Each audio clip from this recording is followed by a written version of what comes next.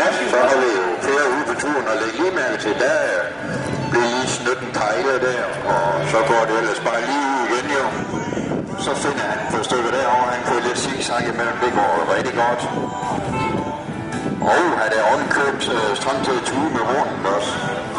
Altså de der store piller under taget, de flytter sig ikke, og så kan du tue nok så meget, du vil. Men det ser da godt ud, og her en han og vi får lidt, der og tude rundt igen. Sådan du. Og vi kan høre dækkene vine lidt, hvis jeg nu lige vil være så rar at stille lidt. Ja, da godt. Hvad?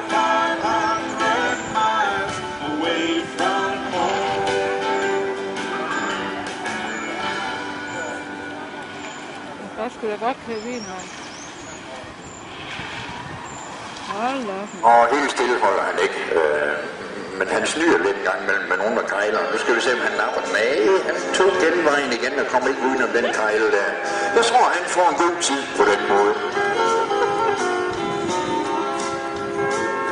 I saw the Golden Gate in Frisco.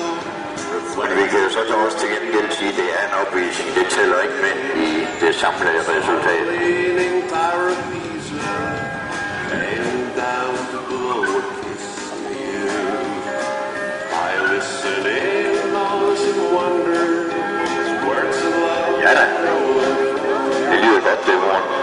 Hundred, strøm hver gang.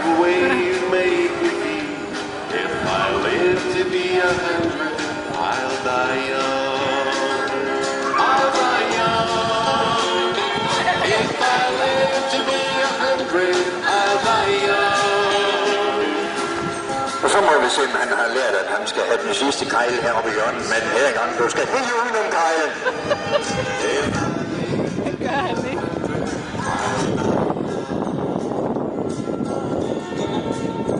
Svarer sådan cirka til, at det på Padborg Park, at det er hvor chikanen, den her stikker tværs over på langen side med det samme. Nu kan komme ned i Big Mac.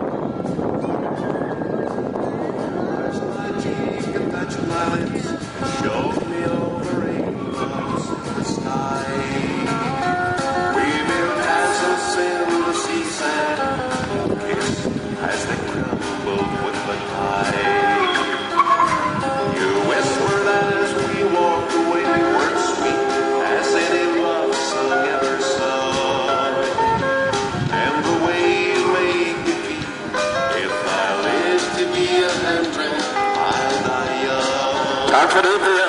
Det så godt ud. Så bliver det lige spændende at se tiden. Jeg skal lidt til for, at øh, blive snød med kejlen hernede, men jeg tror, du har en god tid.